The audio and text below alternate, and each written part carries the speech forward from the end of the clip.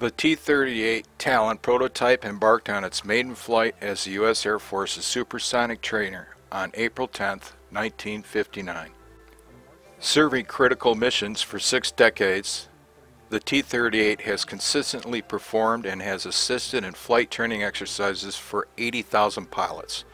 And with various modernizations, the aircraft has maintained low, low operating costs, is maintenance friendly, and has a great safety record.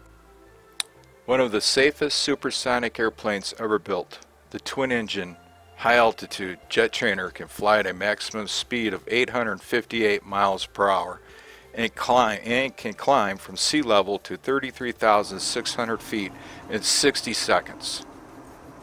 Out of the 1,187 aircraft produced between 1959 and 1972, half are still in use today. The T-38 has been used for over half a century, mainly by the U.S. Air Force for specialized undergraduate pilot training. In addition, Air Combat Command uses the jet as a companion training for their B-52, TR-1, and F-22 pilots. The U.S. Navy and NASA also use the T-38 for flight test and research missions. Earlier this month, Northrop Grumman celebrated the 60th anniversary of the T-38 Talon's first flight with the U.S. Air Force at an event hosted by the Air Education and Training Command at Randolph Air Force Base, Texas. Major General Patrick Doherty, 19th Air Force commander stated this aircraft will always be remembered in our Air Force and in our nation as being one of excellence that has produced the number one Air Force in the world.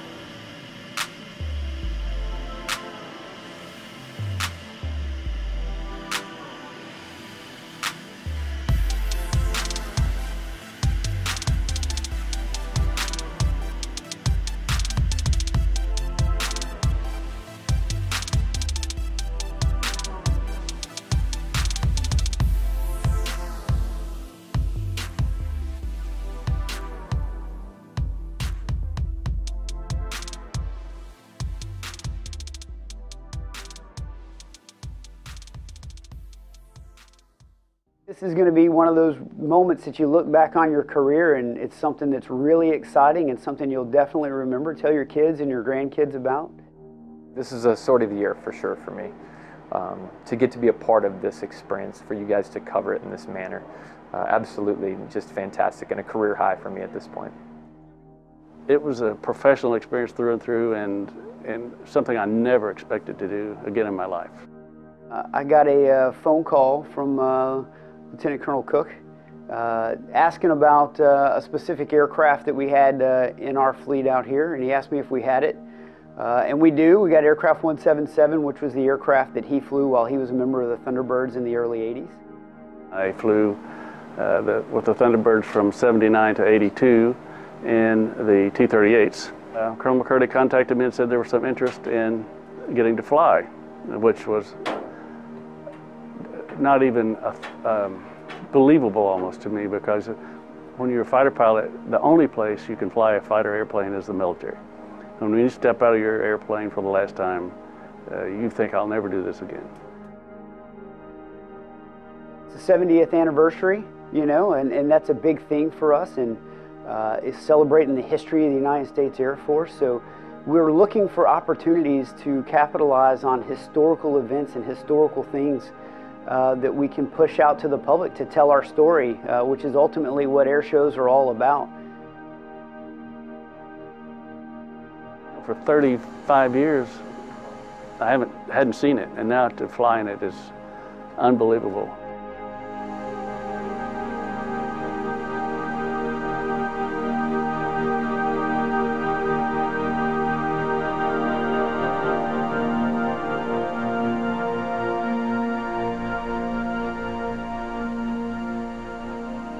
The flight today with Dale Cook was a dream come true for me. Um, you know, our job on the Thunderbirds is to inspire, uh, inspire the next generation of airmen. And uh, I'm that next generation of airmen to Dale, right? So to bring this kind of full circle and now have the current slot pilot flying with Dale um, was incredible and extremely meaningful for me.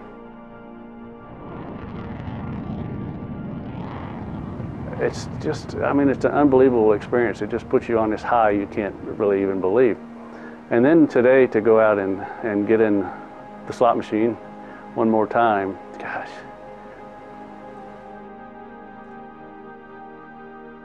The Air Force 70th anniversary breaking barriers. Uh, Dale is breaking barriers, the fact that he can still do something like that. And then the fact that we get to honor, you know, the legacy of the Thunderbirds that have come before us. It's, it's, it's a dream. And um, it's something that no fighter pilot ever expects to do, particularly after 30 some years to get to go do that. And I, I'm, I'm just grateful beyond words.